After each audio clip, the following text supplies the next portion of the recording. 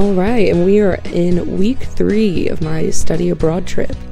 Um, day 14, we actually started out um, the week in Camden Market. It was so busy, but very fun. We got to look at all these little shops. I got some goodies for my friends and family. Very excited about that. And we saw buskers again, but there was somebody else there that was definitely stealing the show.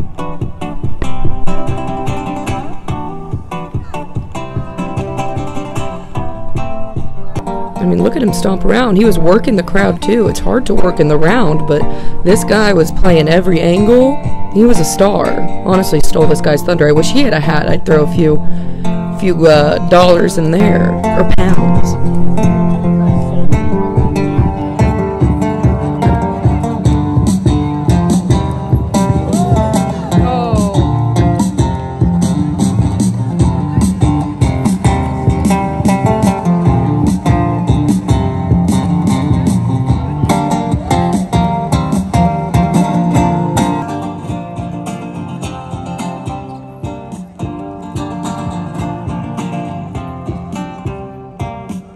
And we saw the play that goes wrong, which is so funny. Like, if you are into theater at all or any sort of production, I feel like this is a show you need to see because everything does go wrong that could go wrong in a show. So it was really funny to watch. Um, after watching that show, we did need a debrief though, so we went back to O'Neill's. And we were able to get much closer to the band this time.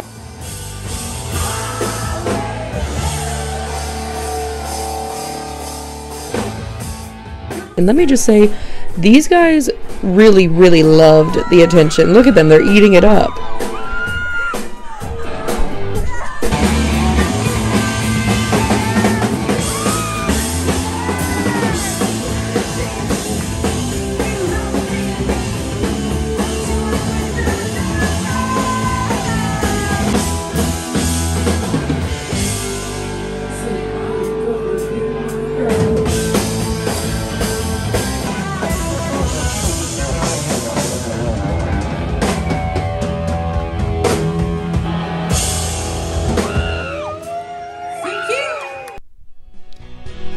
Day 15, we started off with a tour of the National Theater.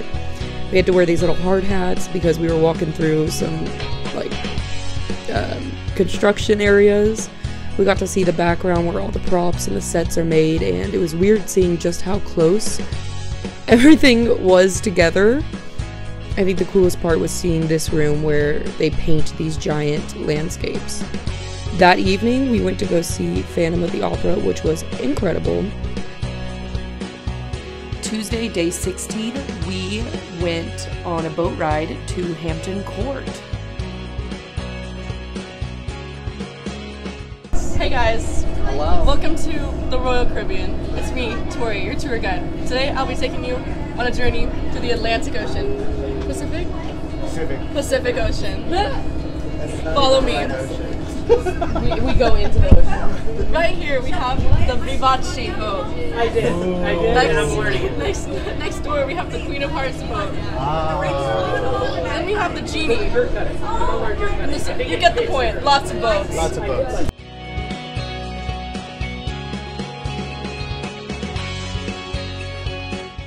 Alright, I'm taking over the vlog for a second to interview our our vlogger Tatum. Say hello. Hello. How are you enjoying your time here so far? I'm a little bit scared of boats, but this one isn't too bad.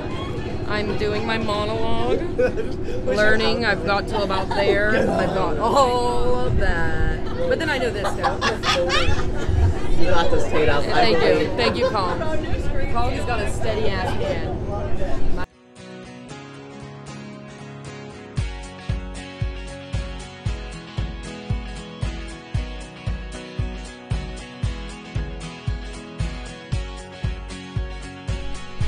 Coming into the Hampton Court Palace, we found a door that was Tiffany size, which was fun. Can you lower it down to make me look not that short? Okay. I got you, mama. Just slay. Slay.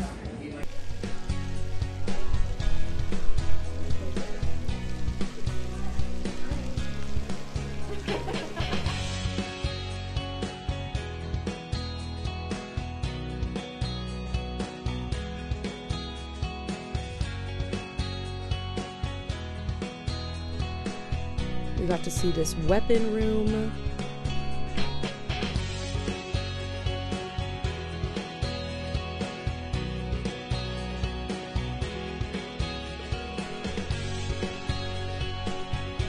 And we got to see old thrones, and everywhere where these royals were actually living. Like, these were the quarters where they just resided, which was weird. Um, uh, so we saw some sort of thrones, and then we saw other kinds of thrones.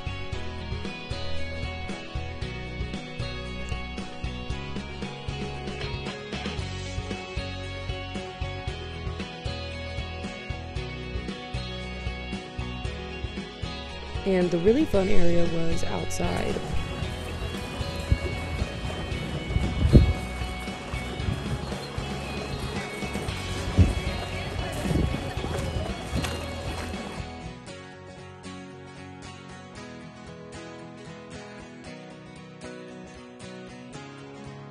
We went through this maze and I led us for one turn and we went immediately to a dead end. But then my friend Anne started leading and she did not make a single wrong turn, so we're gonna follow her forever now.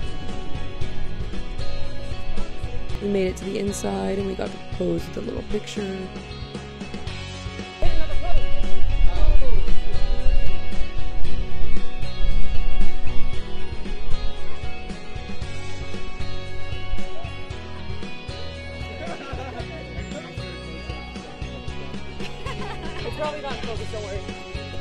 I saw this tree, and even the trees looked royal. It was kind of crazy. The inside looked like marble.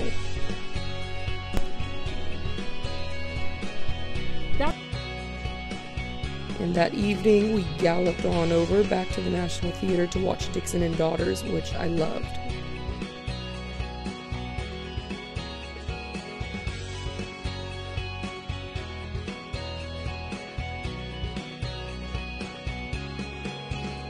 We went back and we all started studying for our finals.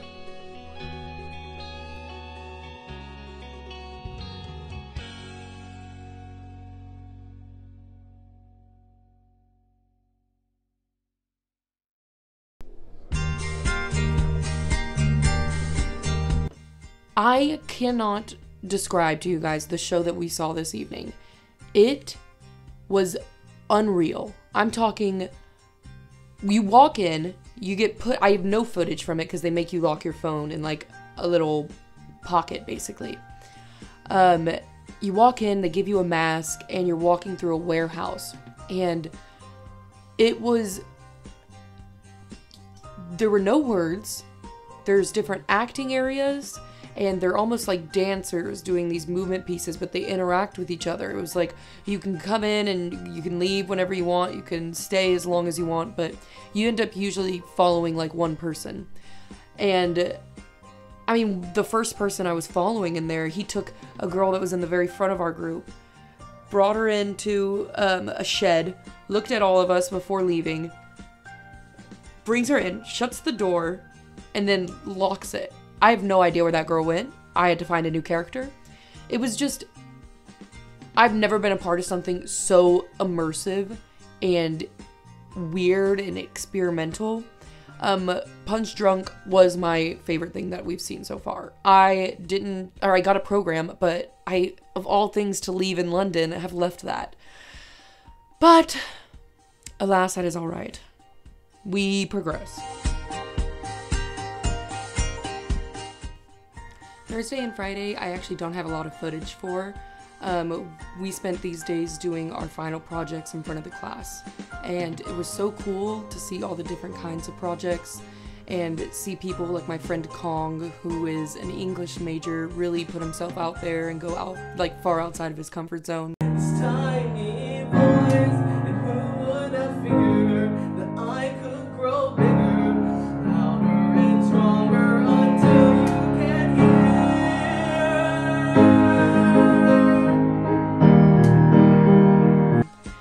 My friend Allison, who made this amazing painting of Macbeth, which I shouldn't say, but we're not in a theater, so. And of course, all of the actresses and actors. So tell me, my liege, What blessings have I here alive that I should fear to die? Wow. And I'm gonna toot my horn for a second. Um, my friend Tiffany, I know her. I don't know if anybody saw um, American Idiot, but she was somebody I had the privilege of working with, and she played a character called Extraordinary Girl. So I feel like I know her voice somewhat. And I told her the song she should perform because they had to pick if you're gonna perform a song, it has to be either you know written by a British composer or somebody in the UK. So I knew of somebody, and I remember seeing this musical once, and so I was excited to ask her if she wanted to do it, and she loved the song and learned it.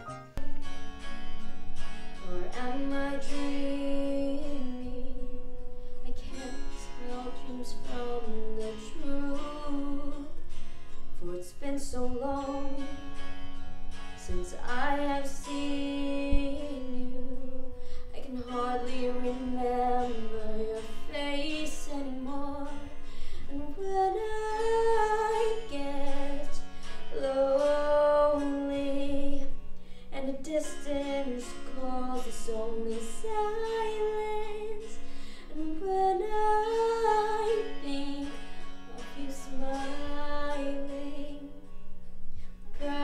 your eyes, a lover that sighs.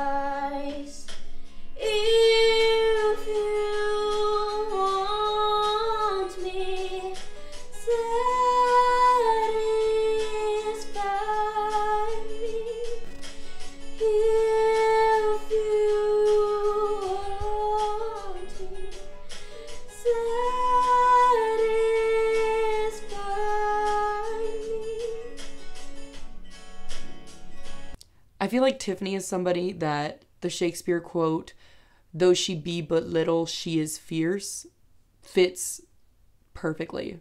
Um, she's deceptively uh, loud in the best way.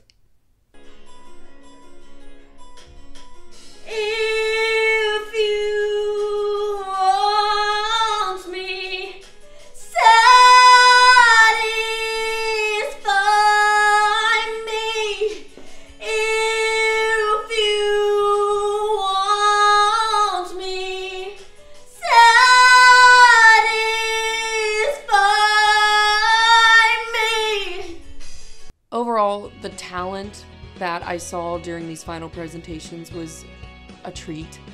Um, I'm gonna miss it a lot. I am now from the hotel room in Poland, so I'm having new adventures here, but the experience in London was exhausting, but just extraordinary. I've never um, been exposed to so many different kinds of theater and art, so I'm incredibly grateful for the time I got to spend there, and I'm looking forward to hopefully going back one day. Um, but now we are in Poland, and I will update you on how Polish adventures go because I can't read any signs, so I'm having to figure it out. Um, all right, I'll see you then.